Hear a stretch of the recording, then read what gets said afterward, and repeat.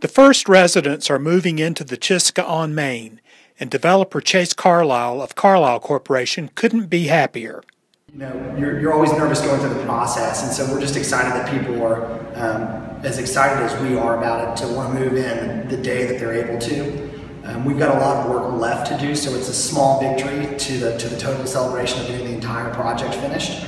But um, we are just thrilled. Carlisle is the lead developer on the $30.7 million project to transform the former Hotel Chisca into 161 apartments. The first section to be completed is the Chisca's Motor Court Addition, built in 1961.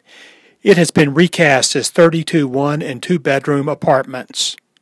We're standing in one of our efficiency units in the Chisca Plaza, which was built in 1961 as a motor court hotel.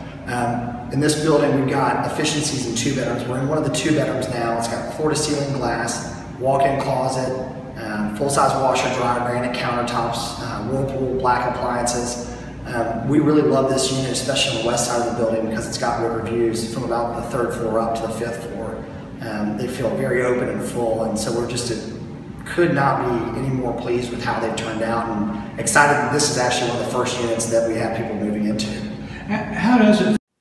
Finish line is still some distance away, but Carlisle is feeling it.